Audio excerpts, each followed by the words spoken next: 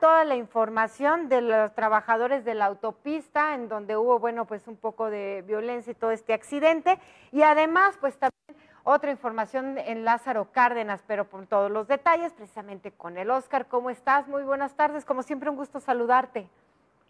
Hola, muy buenas tardes. Saludarte a ti y a todo nuestro querido auditorio. Bueno, efectivamente, un tema este, complicado del que platicábamos estos días, este accidente donde se daba a conocer que cinco personas habían perdido la vida en la autopista de Occidente, México-Guadalajara, eh, dos en una camioneta y tres más trabajadores de esta misma autopista, trabajadores que dan mantenimiento a estas ruas. Otras tres personas lesionadas, tres personas lesionadas que fueron enviadas a un hospital. Eh, desafortunadamente, una de estas tres personas que estaban internadas pierde la vida. Una de estas tres personas no resiste su cuerpo. Esta cifra aumenta en lugar de cinco a seis personas sin vida. Hay dos más, dos trabajadores más de la pista que se encuentran todavía internados.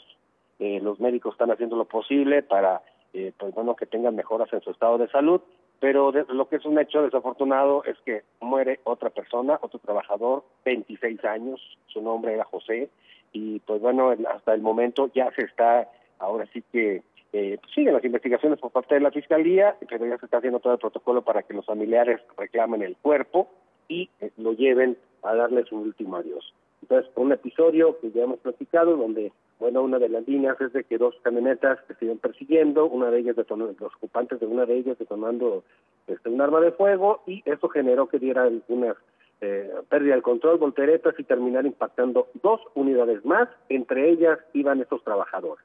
Entonces, es lo que tenemos, sube la cifra a seis personas sin vida en este tema.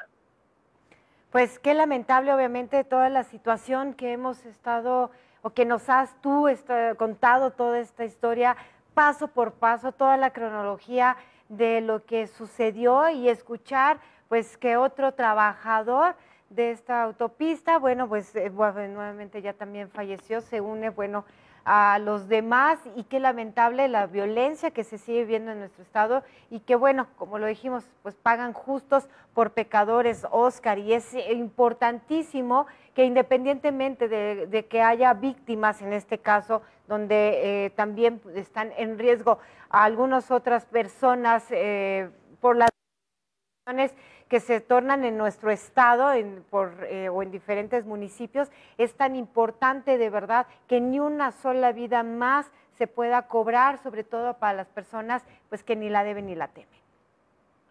Sí, es un tema complicado porque, por ejemplo, lo platicábamos desde antes de que saliera eh, los, el alumnado de vacaciones, que bueno, se esperaba tal vez unas vacaciones algo movidas y demás, y efectivamente fue una temporada vacacional muy accidentada, pero también el regreso a clase también estos días han sido muy, muy accidentados. Hoy simplemente aquí en la, en la ciudad de Morelia, hoy por la mañana en un lapso de dos horas hubo alrededor de seis choques, seis percances automovilísticos, tal vez algunos menores, tal vez otros, este, pues por imprudencia. De hecho, uno de ellos fue una carambola de cinco vehículos ahí sobre la avenida Madero, Madero Poniente.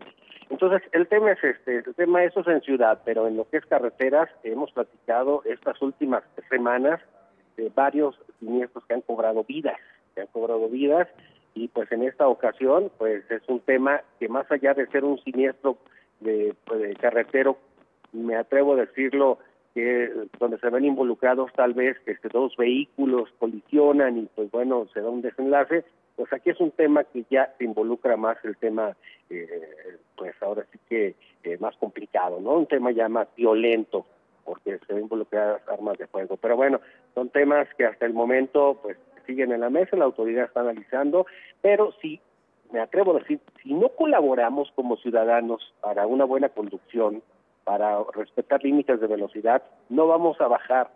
Una, el tema de accidentes, el tema de estos jóvenes, estos jóvenes que ahora sí que ellos lo único que hacían era darle mantenimiento a la carretera, es un tema pues diferente, porque se da en un episodio, en un hecho violento que termina en una tragedia, pero pues ahora sí que no deja de ser un tema en una rúa importante, una vialidad muy concurrida que te comunica dos de las principales ciudades, este, ciudades del país.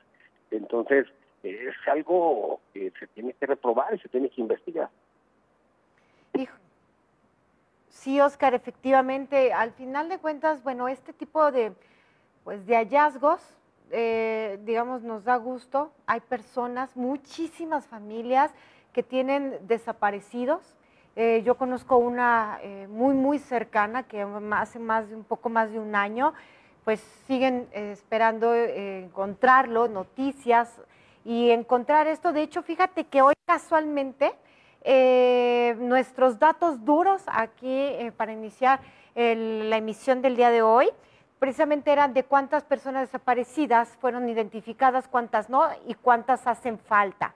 Y este, estos datos y esto que tú nos compartes, Oscar, es importante porque, como te comenté, hay muchas familias en espera, en busca de noticias o información de sus familiares.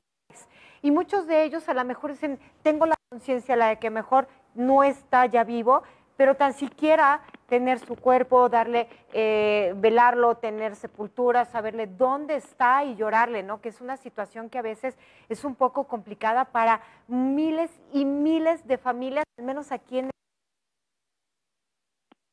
a sus familiares, lamentablemente, pues con este tipo de información.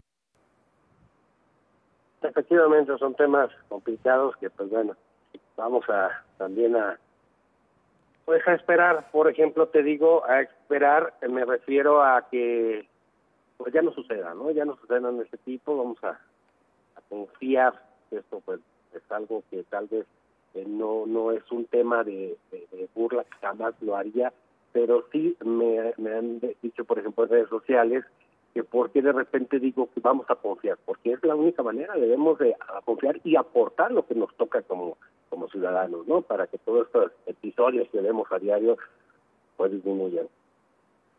Oscar, pues te agradecemos como siempre, tan puntual tu reporte, recordarle a, las, a los televidentes toda esta información las diferentes plataformas de Grupo CB para que usted, bueno, pues tenga ahí al pendiente. Gracias, gracias.